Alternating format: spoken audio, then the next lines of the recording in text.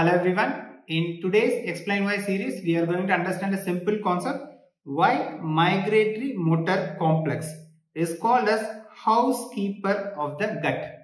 So it means that MMC, the migratory motor complex, is acting like a sweeper in the GIT. So what does it do? So let's try to understand. The migratory motor complex is the movement which happens in the interdigestive period. Suppose you have taken a food in the morning and then afternoon you are going to take it around 12 o'clock or 1 o'clock. Morning you have taken at 8. And after a period of 90 to 120 minutes, what is going to happen is for every 90 minute cycle, this migratory motor complex is going to come into the gut and they are going to create a small kind of movement. And usually this migratory motor complex happens in three phases. The first phase it is going to be very quiet that is called the phase of quiescence. Second phase it is going to do a small contractions, small minimal contraction.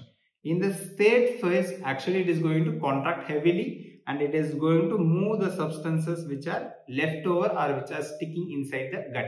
So basically you have taken the food and the normal digestive process like a peristalsis and segmentation all of them they will move the food. But even after that there can be small amount of debris which can be still present inside the gastrointestinal system small amount of debris. So that has to be swept like we are sweeping the house that has to be swept from the upper regions of the GIT to the lower rectum and the anal canal. So this is done with the help of migratory motor complex. And an important hormone is essential for that. That is nothing but the motilin. It is very easy to remember. It is creating the migratory motion. So it is called as motilin. It removes all the food debris and prepares it for the next meal. But what do we do? We generally don't uh, leave any adequate gap for the migratory motor complex to happen and we keep on munching snacks in between. So that is why they advise it is best to avoid uh, in between snacking whenever an adequate gap should be given between the meals. Why so? Because the migratory motor complex will be abolished if you are taking the food in between. So that is the reason. And it does the broom process but not only that it also pours some amount of water to sweep properly.